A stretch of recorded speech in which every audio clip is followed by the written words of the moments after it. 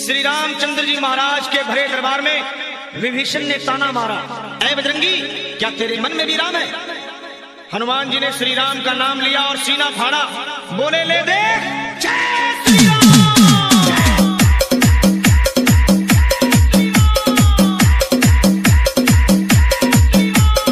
DJ Vicky.